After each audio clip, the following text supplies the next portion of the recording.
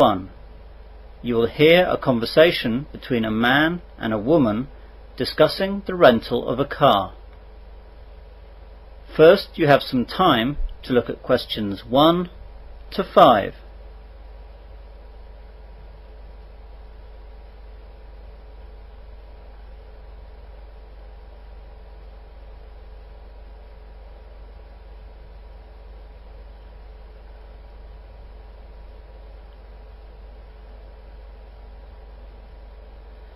You will see that there is an example. This time only, the conversation relating to this will be played first. Good morning, sir. Welcome to Cheapy's Car Hire. Can I help you? Yes, please. I need to rent a car. That's no problem, sir. When would you like it? Tomorrow morning. Let's look then. Today is the 6th of August, so you'll need it on the 7th of August. So, 7th of August is the correct answer. Now we begin. You should answer the questions as you listen, as the recording is not played twice. Listen carefully to the conversation and answer questions 1 to 5. Good morning, sir. Welcome to Cheapy's Car Hire. Can I help you? Yes, please. I need to rent a car. That's no problem, sir. When would you like it? Tomorrow morning. Let's look then. Today is the 6th of August, so you'll need it on the 7th of August. That's right. Now, I'll just need to take some details from you, sir. Can I take your name, please? John Wilson. And your home address? 95 Green Lane, Manchester. Green like the colour? Yes, that's right and the postcode is MW7 4DF. OK, got that. Can I have your telephone numbers, please? My home number is 0206 834 6387 and my mobile is 0779 724 868. Sorry, I missed the mobile. It's 07779 724 868. Thanks. Now, are you the holder of a full current driver's licence? Yes, I am. Could I take the number of the licence, please? Sure. Let's have a look now. It's WIL nine four eight five seven eight two six nine. And will there be any other drivers or just you? Only me, please. OK. You said that you wanted the car tomorrow, but how long will you want it for? Well, tomorrow's Friday the 7th, and I want it for the whole weekend, so I'll bring it back on Monday morning. I'll have to charge you for all Friday and Monday, sir. That's okay. Good. Now, what kind of car were you looking for, sir? I'd like a fairly small car, as I'll be driving a lot around town, and a smaller car will be easier to get around and to park. Yes, that's true. Well, I've got small sizes in the following types of car. A Ford, a Renault and a Toyota. They're pretty much the same, though the Toyota is in a cheaper price category. I'll take the cheapest one, please. And we can offer you a petrol or a diesel model with that car. Oh, in that case I'll take the diesel, as that will be more economical. Before the conversation continues, you have some time to look at questions 6 to 10.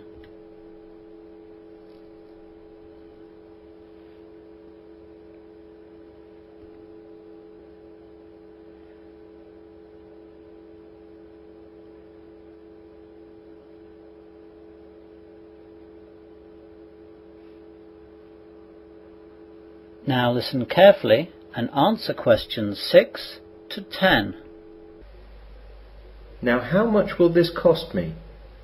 Well, the daily rate is £50, but it's only £40 if you take the car for four days or more. Let's see. There's also an additional £10 for insurance. That's not obligatory, but we do recommend that you take the insurance. Yes, definitely. So that will be £170 for the four days then. Fine.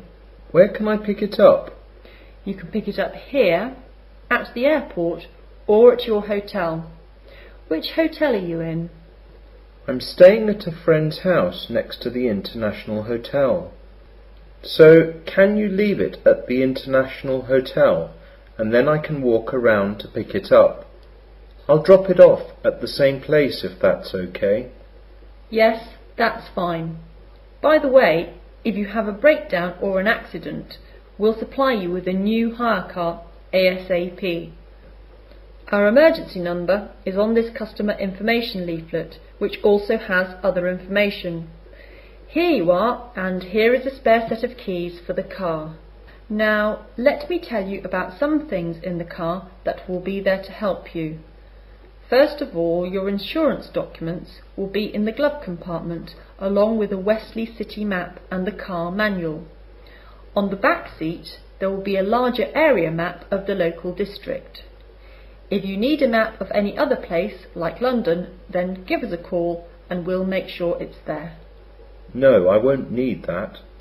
In the boot, you'll find a spare wheel and a set of tools in case you have a problem. We have membership with the RAC, so you can call them if you're really in trouble. The membership card and phone number is in the glove compartment too. There will be a small fire extinguisher under the passenger seat, but I hope you won't have to use that. Great. So, where do I pay? If you go over there to Mr. Walker, then he'll sort you out. That is the end of section 1. You will now have half a minute to check your answers.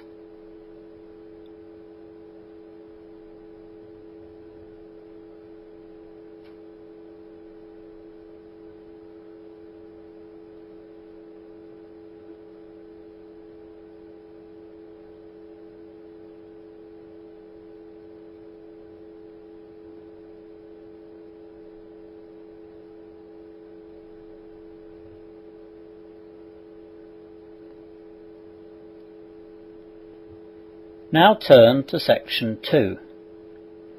Section 2. You will hear the Master of a University Hall of Residence giving a short introductory talk to new students at the University Hall of Residence. First, you have some time to look at questions 11 to 15.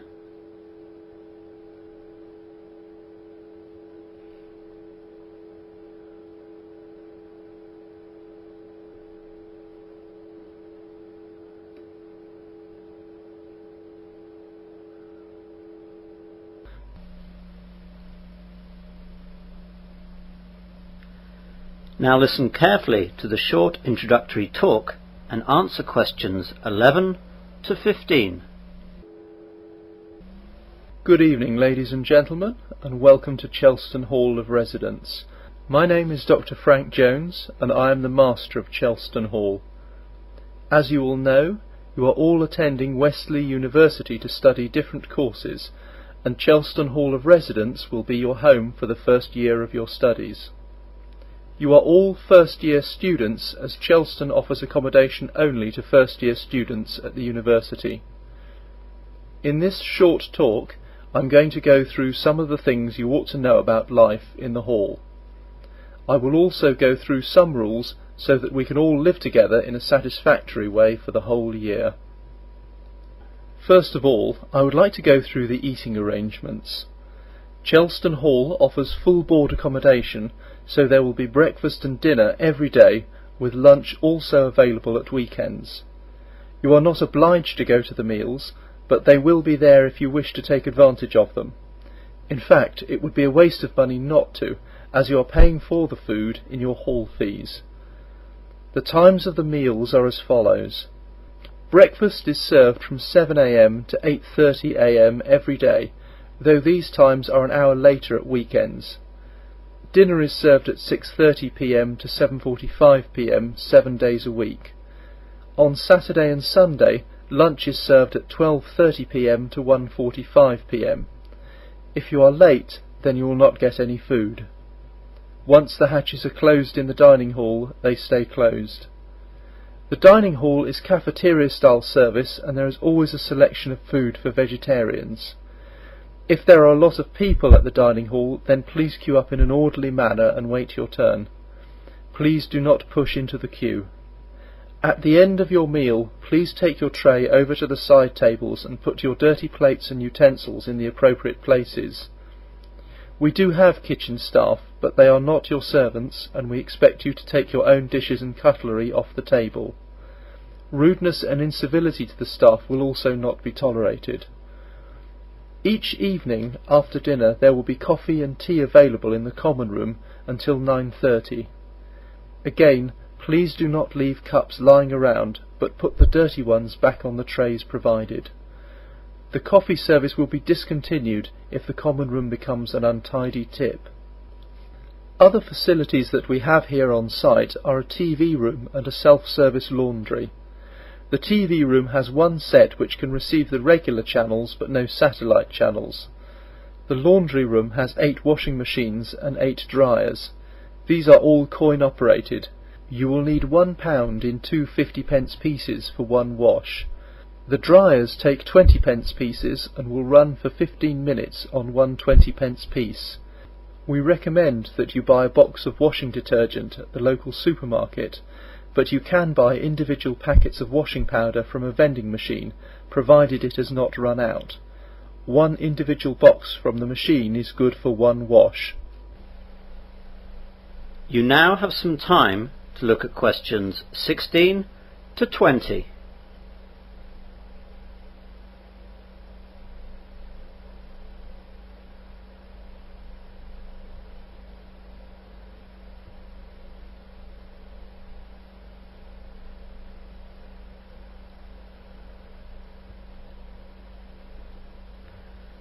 Now listen to the rest of the short introductory talk and answer questions 16 to 20.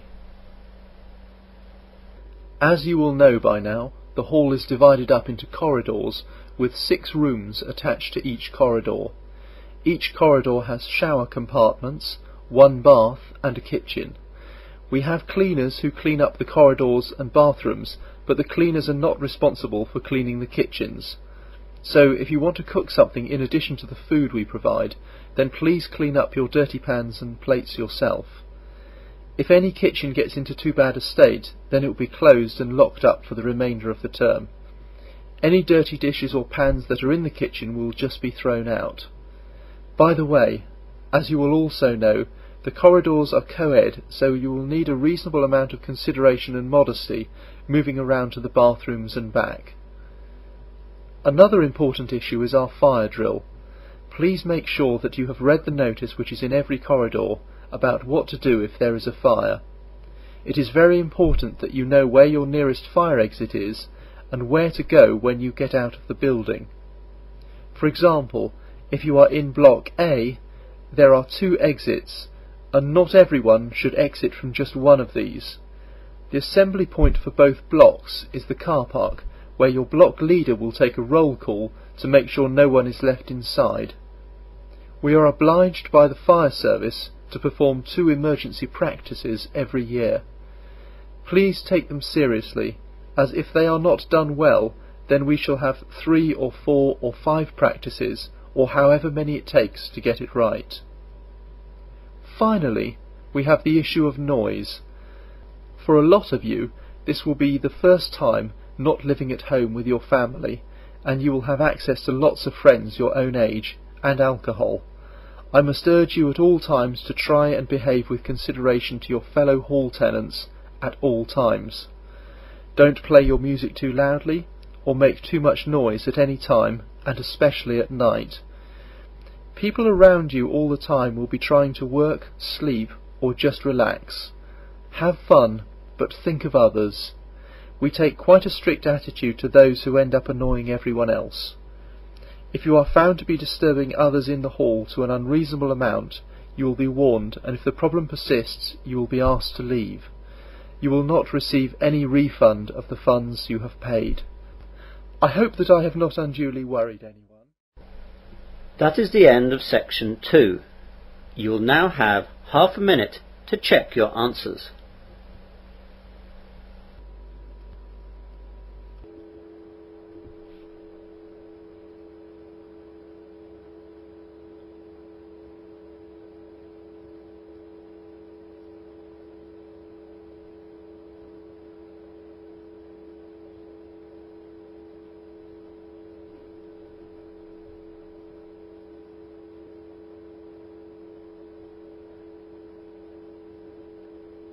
Now turn to section 3.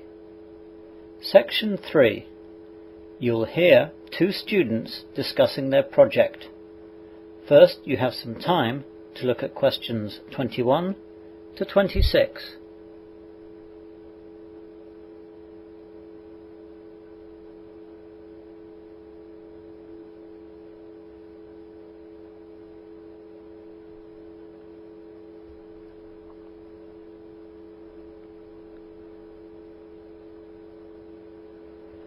Now listen carefully and answer questions 21 to 26. Well, Fred, thanks for coming over to my room.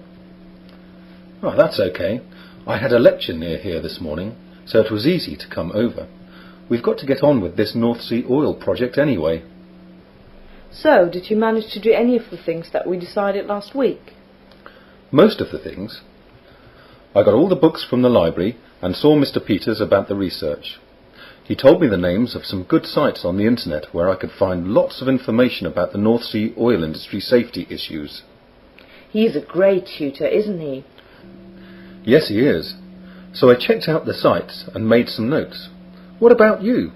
Did you get the information on the background and history of the North Sea oil industry? Yeah, there were loads of information and I've made notes too. I think I've got it all covered. So let me tell you what I found out. I'll run the ideas past you and you can tell me if it's okay. Good idea.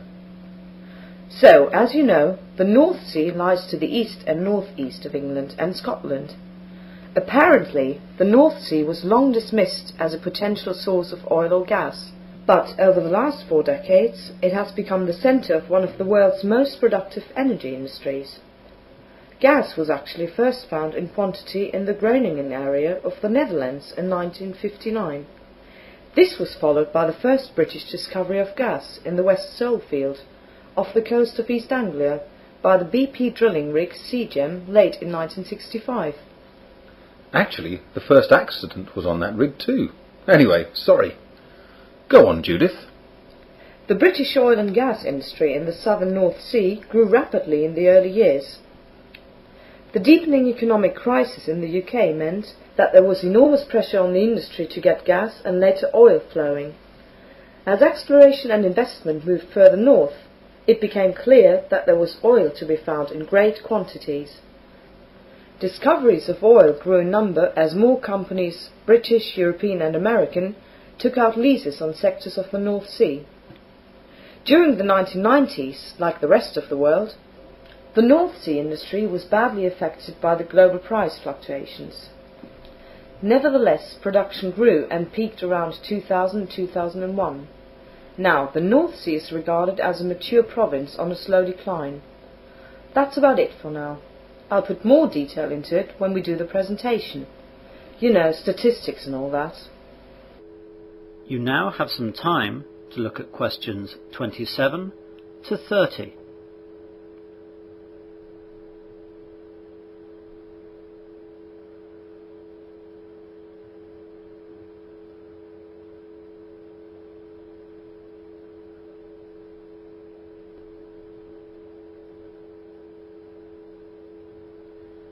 Now listen to the rest of the discussion and answer questions 27 to 30.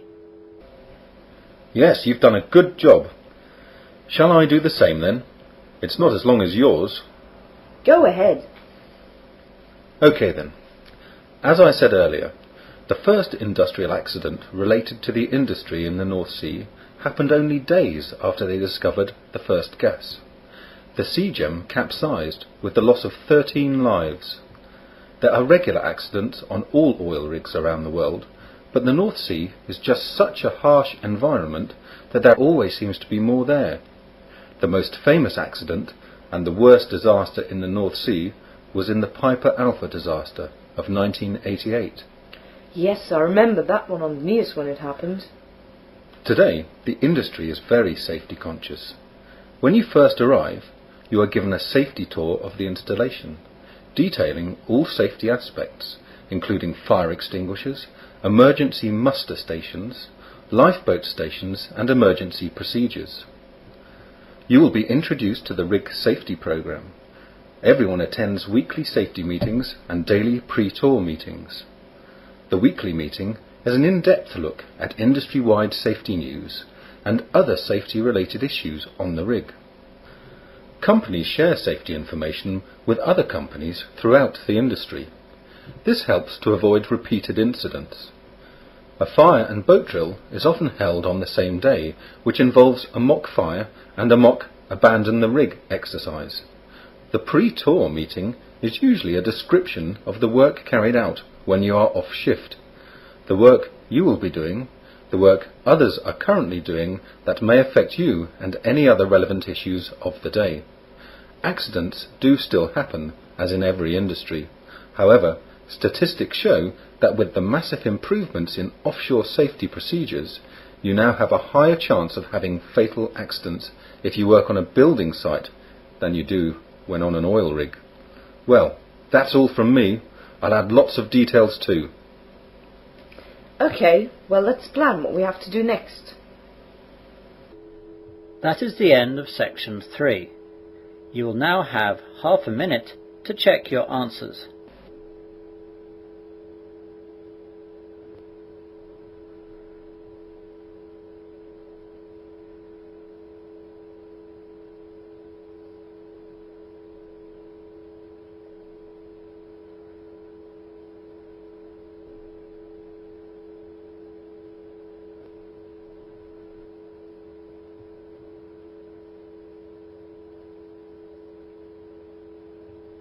Now turn to section 4.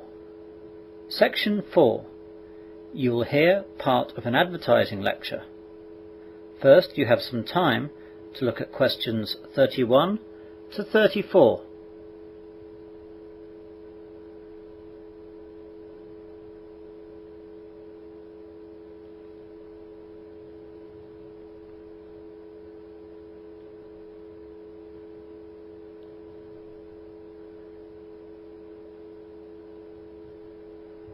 Now listen carefully and answer questions 31 to 34. Good morning everyone. Today's advertising lecture is on the history and development of highway billboards and their effectiveness. Later on we will look at their design and different uses. The roots of billboard advertising can be traced to the invention of movable type printing by Johannes Gutenberg as far back as 1450 and advertising in the modern sense was launched in the form of the handbill. When the lithographic process was perfected in 1796, the illustrated poster became a reality.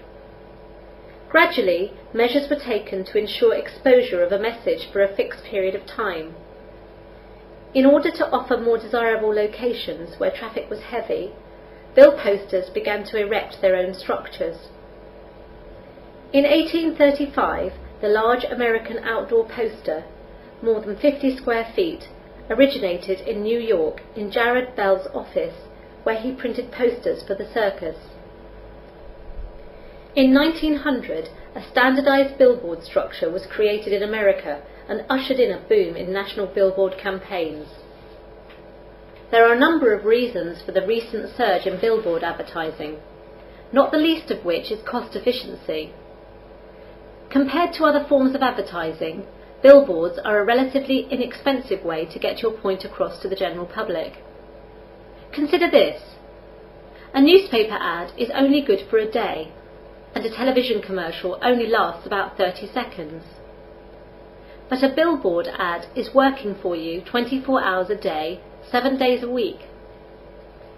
The cost of billboard advertising ranges from about $700 to $2,500 a month. At that rate, 10 billboards could run for as much as $25,000 per month. That sounds like a lot of money until you realise that a full page ad running for one day in a major newspaper costs about the same. So billboard advertising can be an effective and cost-efficient way for entrepreneurs to spread the word about their products and services. The Outdoor Advertising Association of America estimates that US businesses spent more than $5.5 billion on outdoor advertising last year, and the association is anticipating a healthy increase over the next few years. Advances in technology have also contributed to billboard advertising's cost efficiency. In the past, billboards had to be hand painted a time-consuming and costly venture. But with today's computer technology, billboards are designed on a computer screen, printed to vinyl or poster paper, and glued to the billboard structure. The result is higher quality ads in less time for less money. You now have some time to look at questions 35 to 40.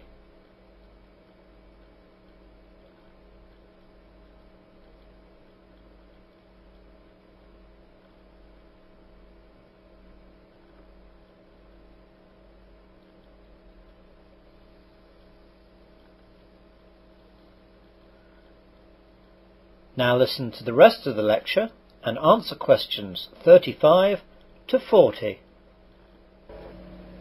Let's look now at a famous example. In 1925, Alan Odell, who owned a small company that made a brushless shaving cream, noticed that gas stations and other local businesses were increasing trade by putting up advertising signs along the nation's highways. He decided that he could increase his sales by putting up sets of signs. Five in a set. They would not have to be big, and a short line on each one would do. At first, Odell tried the hard sell approach. Sales began to increase at once, but that did not satisfy him. Motorists see these signs, he told himself, at remote places on the highway. Perhaps after hours of monotonous driving they would appreciate a touch of rhyme and humour. They would indeed. It was not long before the catchy Burma shave signs, some ironic, some cynical, some absurd, but all of them funny, caught the fancy of nearly everyone, including those people usually critical of advertising. These signs continued as the advertising medium of the company for 35 years, and then when cars travelled too fast to take in these messages, more than a dozen words painted in rather small letters, the company phased out its roadside advertising. Perhaps a growing criticism of this sort of advertising, which interfered with highway scenery, also influenced the company's decision. By late 1965, this criticism resulted in President Lyndon Johnson's Highway Beautification Bill. This bill authorised a federal state campaign to improve the scenery on either side of major highways, to conceal or remove junkyards, and to put billboards sufficiently far back from the highway so that they would not interfere with the view. States that did not comply with the bill could lose 10% of their federal highway grant. But this was not the end of the billboard industry. Many roads were not part of the highway system which was supported by federal grants, and these roads were not affected by the law, and nor were signs in commercial and industrial areas. Now let's look at some of the advertising developments in Europe. That is the end of section 4. You will now have half a minute to check your answers.